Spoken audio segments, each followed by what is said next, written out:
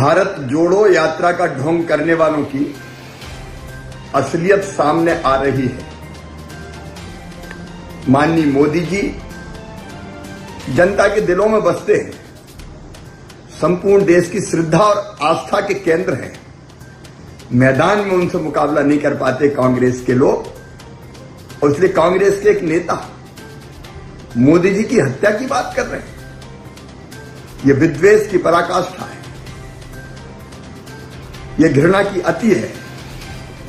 कांग्रेस के असली भाव प्रकट हो रहे हैं। लेकिन ऐसी चीज़ों को सहन नहीं किया जाएगा। एफआईआर की जा रही है और कानून अपना काम करेगा।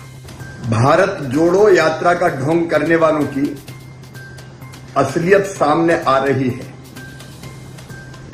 माननीय मोदी जी, जनता के दिलों में बसते हैं।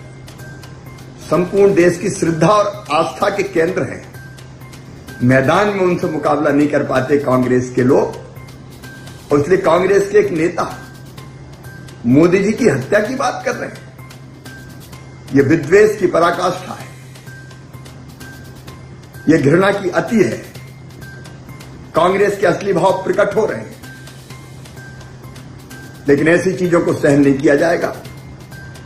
एफआईआर की जा रही है। और कानून अपना काम करेगा।